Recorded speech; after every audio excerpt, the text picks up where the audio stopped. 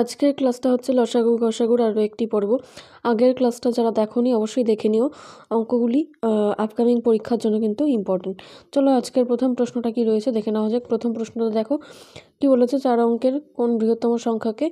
এই যে সংখ্যাগুলো দ্বারা ভাগ করলে প্রতি ক্ষেত্রে এই সংখ্যাগুলো অবশিষ্ট থাকছে, অর্থাৎ রিমাইন্ডার থাকছে।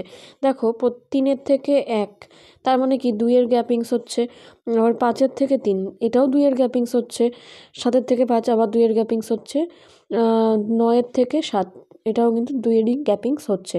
তো আমরা এইভাবে করব যে ফার্স্টে এখানে চার অঙ্কের যে বৃহত্তম সংখ্যা সেটা লিখে নেব, এটা কত হবে?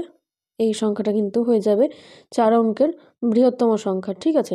তো এখানে তারপরে এই যে তিন, পাঁচ, সাত নয়, এই, এগুলোর যে এলসিএম যেটা হবে, এলসিএম দিয়ে সেটাকে ভাগ করতে হবে। এলসিএম আমরা কীভাবে বের করব? এখানে যে এলসিএমটা হবে, তোমরা তিন দেখো, এই নয়ের মধ্যে আছে, তো তিনটা বাদ যাচ্ছে। তাহলে দেখো এখানে কি হচ্ছে পাঁচ, সাত আর নয়, তিনটাই কিন্তু মৌলিক সংখ্যা। তার মানে এটা তিনটাকে গুণ করে দিতে হবে। তাহলে কত হচ্ছে? পাঁচ সাথে পঁয়ত্রিশ পঁয়ত্রিশকে আমরা নয় দিয়ে গুণ করব। কত হচ্ছে? পাঁচ নং হয়ে যাচ্ছে পঁয়তাল্লিশ সাথে পাঁচ নং কত হচ্ছে? পঁয়তাল্লিশ। দেখো কত হচ্ছে? প, আরেকবার লিখে দিচ্ছি। পঁয়তাল পঁয়ত্রিশ ইন্টু নয় কত হচ্ছে? পাঁচ নং পঁয়তাল্লিশ সাথে চার তারপরে কত? তিন নং সাতাশ, আঠাশ, উনত্রিশ, ত্রিশ, একত্রিশ, তিনশো পনেরো। ঠিক আছে? তো তিনশো পনেরোকে আমরা চারটা নয় এটা দিয়ে কিন্তু ভাগ করব। অর্থাৎ কীভাবে করব? চারটা নয় লিখে নেব।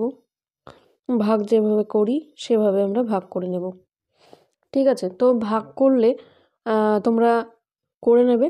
ভাগফল আসবে একত্রিশ। ঠিক আছে? আর ভাগশেষ আসবে কিন্তু দুশো চৌত্রিশ, তোমরা করে নেবে, দেখবে এটাই আসছে অ্যান্সার এখানে জায়গাটা কম থাকার জন্য কিন্তু আমি করে দেখাতে পারছি না। তারপরে এখানে দেখো দুশো যে চৌত্রিশ এসেছে, এই সংখ্যাটা যদি কম থাকতো এই যে চারটা নয়ের থেকে, তাহলেই এটা কিন্তু এই সংখ্যা দ্বারা বিভাজ্য হয়ে যেত। কি, তাই তো? তো এটা যখন বিভাজ্য হয়ে যাবে, তখন কিন্তু কোনো ভাগশেষ থাকবে না। আর এখানে দেখো লেখা রয়েছে যে এক, তিন, পাঁচ, সাত এগুলো অবশিষ্ট থাকতে হবে। তাহলে দেখো প্রত্যেকটা থেকে দেখেছ যে সংখ্যাগুলোর থেকে যে রিমাইন্ডারগুলো, সেগুলো দুইয়ের ডিফারেন্স। তার মানে এখান থেকে আবার দুইকে বিয়োগ দিয়ে দিতে হবে। অর্থাৎ কি হলো স্টেপটা তাহলে? চারটা নয়, বিয়োগ হচ্ছে, এটা তো ছিলই, ভাগ মিলে যেত। তারপরে মাইনাস দুই লিখে দেব। কত হবে তাহলে? উত্তর হয়ে যাবে কিন্তু নাইন সেভেন সিক্স থ্রি। এটা হয়ে যাবে উত্তর, ঠিক আছে? ডাব্লিউবিপি কনস্টেবলে আসা কিন্তু এই প্রশ্নটা। অন্যান্য পরীক্ষায় আসা প্রশ্নগুলোও কিন্তু তোমাদের এই ফুড সাপ্লাইয়ের জন্য ইম্পর্টেন্ট তো অবশ্যই ভিডিওটা শেষ পর্যন্ত দেখো। কি রয়েছে দেখো? দ্বিতীয় অঙ্কটা। গুণফল দেওয়া রয়েছে দুটো সংখ্যার। আর দেওয়া রয়েছে হচ্ছে গসাগু। তো আগের দিন তোমরা শিখেছো যে এলসিএম আর এইচসিএম যেটা, সেটার গুণফল হচ্ছে সংখ্যা দুটোর গুণফল। তার মানে এখানে এটা আমরা এইভাবে লিখতেই পারি। আর এলসিএম আমরা জানি না, এলসিএমটা আমরা এইভাবে লিখে রাখতে পারি। আর দেখো, এইচটা যদি আমরা জানি যে ছয়, ছয়টা যদি আমরা ডান পাশে নিয়ে যাই, তাহলে কী হয়ে যাবে? ভাগ হয়ে যাবে। তাহলে কত হবে? এভাবে আমরা লিখতে পারি, তাই তো? মানে দু হাজার একশো ষাট এটাকে আমরা ছয় দিয়ে ভাগ করছি। তো এখানে আমরা কি লিখব তাহলে? এটার কিন্তু অ্যান্সারটা হবে কত? থ্রি সিক্স জিরো, তাই তো? তারপরে বলেছে, দেখো লসাগু এবং গসাগুর অনুপাত। মানে আগে গসাগু রয়েছে, তারপর লসাগু রয়েছে।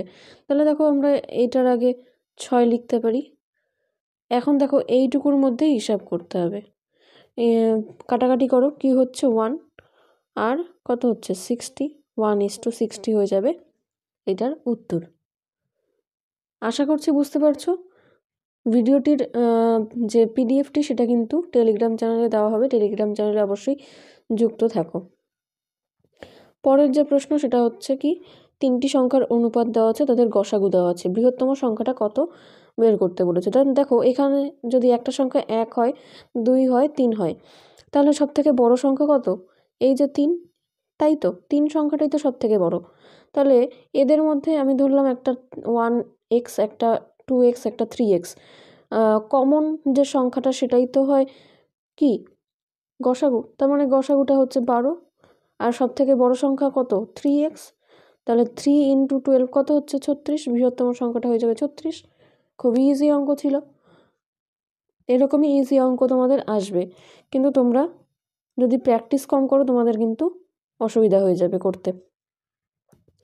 কী রয়েছে দেখো? পরের অঙ্কটা। দুটি সংখ্যার লসাগু দেওয়া আছে, গসাগু দেওয়া আছে। একটা সংখ্যা দেওয়া আছে, অপরটি কত? তো তোমরা কি জানো যে দুটি সংখ্যার গুণফল সমান সমান লসাগু, ইন্টু গসাগু। তাই তো? এভাবে লিখে নেব three two three seven six into thirty three equal to হয়ে যাবে টু নাইন সেভেন আর অপর সংখ্যাটা আমরা জানি না এক্স লিখে দেব। ঠিক আছে? তো এখানে আমরা এই যে এখানে এই সংখ্যাটা আছে গুণ অবস্থায়, এই এই পাশে নিয়ে যাব, ভাগ হয়ে যাবে টু নাইন সেভেন এটাকে তোমরা কাটাকাটি করো। কত হচ্ছে? তিন নং হয়ে যাচ্ছে সাতাশ। তারপরে আবার কত হচ্ছে? তিন নং হয়ে যাচ্ছে সাতাশ, আবার দুই থাকছে, আবার সাতাশ হয়ে যাচ্ছে। তার মানে নয় দিয়ে এটা, এই সংখ্যাটাকে নয় দিয়ে কাটলে কিন্তু হয়ে যাচ্ছে। দাঁড়াও, কালিটা চেঞ্জ করে নিচ্ছি। এই সংখ্যাটার সাথে এই সংখ্যাটা কাটলে নয় হয়ে যাচ্ছে। আবার এটার সাথে এটাকে কাটবো। কত হবে? হয়ে যাবে কিন্তু two six four two six four হয়ে যাবে অপর একটা সংখ্যা। আশা করছি বুঝতে পারছ অঙ্কটা? ইজি অঙ্ক ছিল।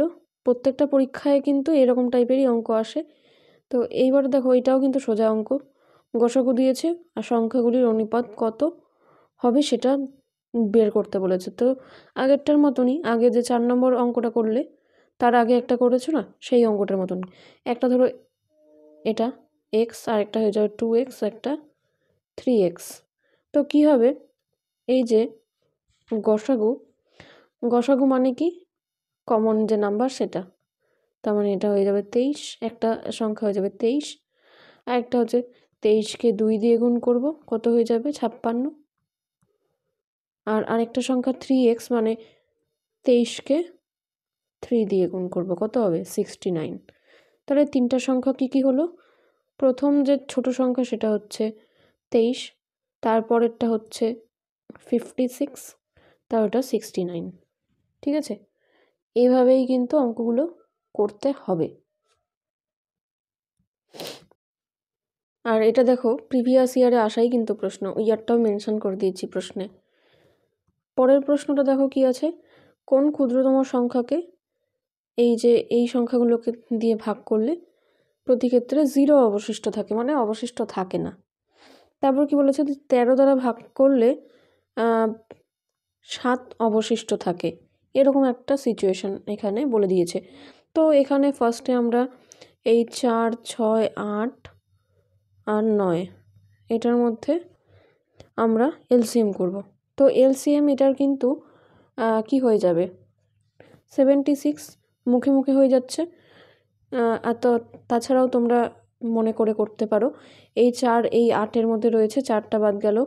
এই ছয়ের মধ্যে তিন আর দুই আছে, আর সেখানে তিন এখানে রয়েছে, এখানেও রয়েছে। তো এই সংখ্যাটাও বাদ যাচ্ছে, তাহলে এই দুটো তো পরস্পর মৌলিক সংখ্যা হয়ে যাচ্ছে, তাই জন্য বাহাত্তর হয়ে যাবে, এল এটার হচ্ছে এলসিএম, ঠিক আছে? এইভাবেও তোমরা মনে রাখতে পারো। তো এখানে দেখো সেভেন্টি সিক্স হচ্ছে, এটা কিন্তু এই যে এই যে সংখ্যাগুলো এই সংখ্যাগুলো দিয়ে বিভাজ্য চার, ছয়, আট, নয়, এগুলো দিয়ে বিভাজ্য এই বাহাত্তর।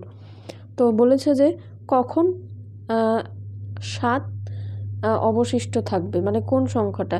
তো দেখো এইটার ক্ষেত্রে তেরো দিয়ে যদি ভাগ করো বাহাত্তরকে, দেখো তো কত ভাগশেষ থাকে? তেরো ভাগ করছি বাহাত্তরকে, কত হচ্ছে? পাঁচ তেরো হয়ে যাচ্ছে পঁয়ষট্টি তাহলে দেখো বিয়োগ করলে সাত হচ্ছে, তার মানে এইটাই হবে সেই সংখ্যাটা, ঠিক আছে? যদি এরকমভাবে না মিলতো, তাহলে তখন এটাকে আমরা এটার গুণিতক বের করতাম, এই সংখ্যাটার গুণিতক বের করতাম, করে করে দেখতাম, ঠিক আছে? তো এটাই হচ্ছে নিয়মটা। তোমাদের জন্য ছোট্ট একটা ঘোষণা, সেটা হচ্ছে ম্যাথের একটা সাজেশন বুক আর জিকে বুক পাবলিশ হয়েছে, যেটা কিন্তু তোমরা কালেক্ট করতে পারো। এমসিকিউ বুকটা হচ্ছে একশো দশ টাকা আর এই যে ম্যাথের সল্ট পিডিএফটা একশো কুড়ি টাকা। কম্বো অফারে তোমরা কিন্তু টু টোয়েন্টিতে পেয়ে যাচ্ছ, ঠিক আছে? আর যারা যারা এই ভিডিওটা দেখবে, তাদের ক্ষেত্রে আরও কিন্তু বিশেষ কিছু ছাড় রয়েছে, তোমরা অবশ্যই জানতে মেসেজ করো। আর এটা দেখো ম্যাথ ই বুকটাও আলাদা করে নিতে পারো প্রাইস হচ্ছে ওয়ান টোয়েন্টি সলভ করা রয়েছে, এটাই কিন্তু এই পিডিএফটার বিশেষত্ব। তোমরা প্রিন্ট আউট করে লাস্ট মিনিট সাজেশন হিসেবে এটা কিন্তু সলভ করেই রাখতে পারো। আর এক্সট্রা ম্যাথ তো আমি চ্যানেলে দিচ্ছি, সেগুলোকে তোমরা অবশ্যই সলভ করো। Thanks for watching and all the best for your upcoming exam